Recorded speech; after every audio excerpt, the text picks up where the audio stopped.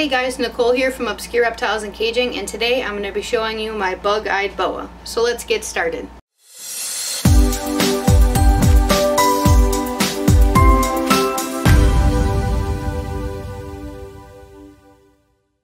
Hey guys, so today I'm going to be showing you and telling you a little bit about my bug-eyed boa, what that is, uh, for any of you guys who don't know and giving you guys a little bit of information about a boa. Um, we're going to do an entire care guide specifically for boas and even a breeding guide one day on boas as well. That's in the works, but I just wanted to show you guys my bug-eyed boa and how she's doing. For those of you who do not know, a bug-eyed boa is when a albino, specifically an albino boa, has enlarged eyes when they're born. Um, I've actually talked to the breeder I got her from. We're going to talk more about him in a little bit. And he actually sent me over some photos so I can show you guys what it looks like when they're babies more. But I have, I took her outside and did a couple of close-ups so you guys could hopefully see her better. But let's see if I can show you guys.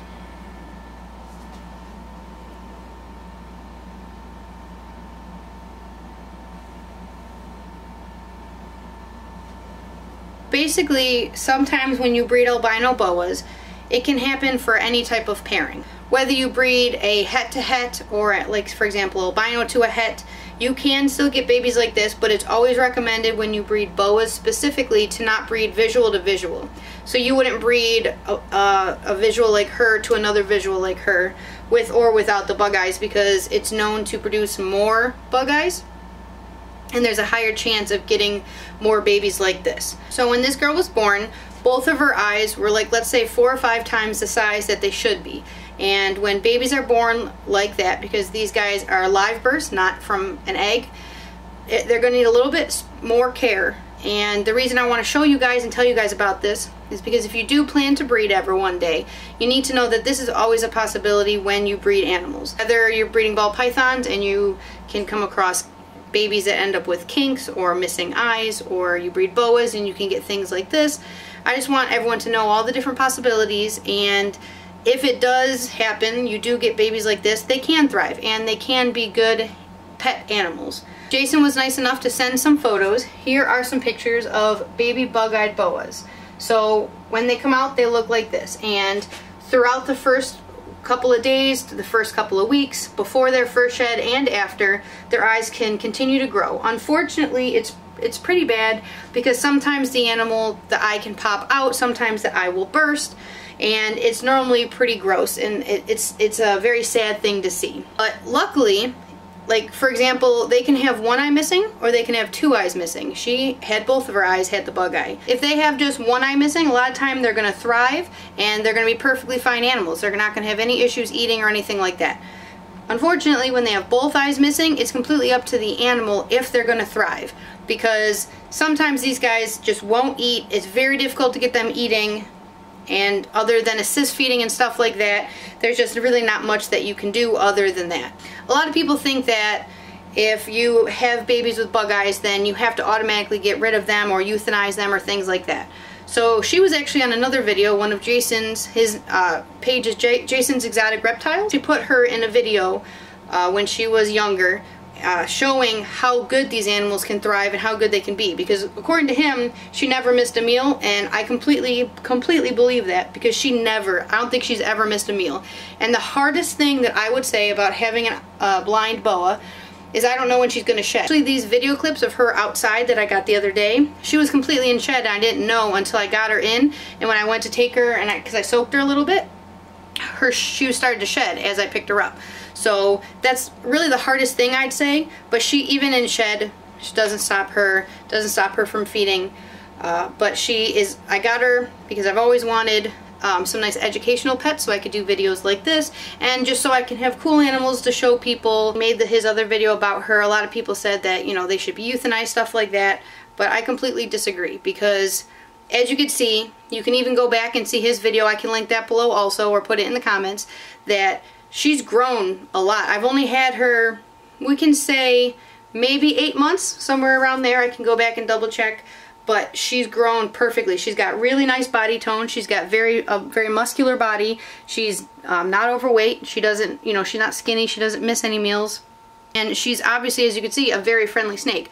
And I don't handle her, you know, crazy. I probably take her out every two weeks and I give her a good handle like this, but I don't, I, I don't really like over handling my animals. I feel like it stresses them out. But as you can see, she's a perfectly fine snake. She's never struck at me. She doesn't hiss. Uh, she's a little spazzy when you first take her out, but most boas are. So uh, just a couple of facts about boas in case you guys are interested. You can get boas like this, especially from reputable breeders, and they have them eating and thriving, but keep in mind that this is not something you want to breed for. So make sure if you are going to breed, stay away from visual to visual and go visual to het or het to het. It's the best way. These animals can happen still, but it's less likely. You can go over to his video. He really goes in depth on uh, breeding. I just think she's a really cool pet. I only really focus on the ball pythons, ackies, and dragons. Both of her eyes, they both look different, and I'll try to get good footage of both of them for you, but her pupils still move back and forth. She has um, use of the eye, but she can't see through either eye, and they both look different. So when I first got her, her eyes almost looked like scabs. The thumbnail, when she's in the pictures on the thumbnail, you can see her eyes look different. So it takes quite a few sheds for that scab to basically come off or for their eyes to fully heal. She can still grow to a normal size. She's not stunted, anything like that, especially with her really good food response. Keep in mind if you want a friendly, larger reptile, the boas are a very good way to go.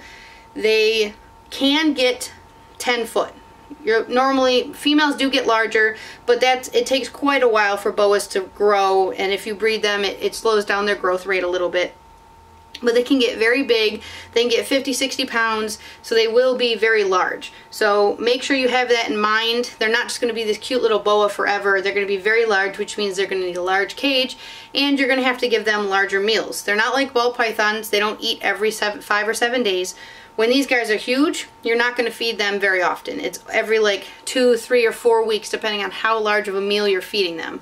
And also keep in mind, you're going to need things like if you have a, very large female, you're going to have to do things like guinea pigs, frozen thawed of course, smaller rabbits, if you can't get your hand on very large rats, uh, all those kind of things. These guys are like garbage disposals, so it's very good to do them on frozen thawed, especially since the meal and the prey size is going to be so large. It's very good idea to keep them on frozen thawed. And these guys are a really long commitment. They can live 20 to 30 years in captivity. So this is a very large animal with a very long lifespan. So keep that in mind. If don't look at this video and see, oh cool, I want a blind snake and go out and get some. Basically, especially when they're small like this, their their care is very similar to ball pythons hide water dish. Their humidity is a little bit higher and their temperature is a little bit cooler. They're like a 90 to 92 hot spot. Their cool side has to be 80. Don't let it go below, like don't go 75, 76. That's too cold for these guys. They can get upper respiratory infections, especially when they're larger, because they do need um, a higher humidity.